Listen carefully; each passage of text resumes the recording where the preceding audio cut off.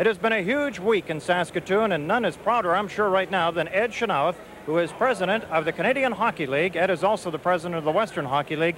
Being your old hometown, they have done a marvelous job. They certainly have, Kevin. I think it goes without saying that uh, when you look at the Memorial Cups that I've attended over the 17 years I've been involved, I don't think there's any that has measured up with this one. The Saskatoon Blade organization and the people that have been associated with them, the fan support not only in the city of Saskatoon but throughout Saskatchewan. When the people from Ontario and Quebec talk to us, uh, they're just as excited as we are. It's been a fantastic show. I think uh, when I look back on it, uh, this game is, is just as exciting as any game that I think I've seen for some time.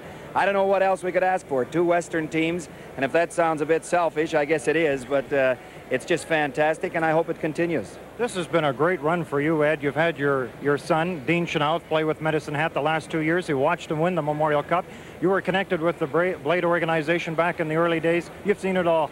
Well, I started with the Saskatoon Blades. Uh, it's an amazing situation that uh, here we are 20-some uh, years later, and uh, they're hosting a Memorial Cup. They look like they stand an excellent chance to win it.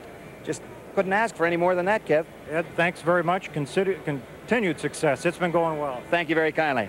Ed Chynoweth, our guest, president of the Canadian Hockey League and the Western Hockey League. One period to go between the Blades and the Broncos.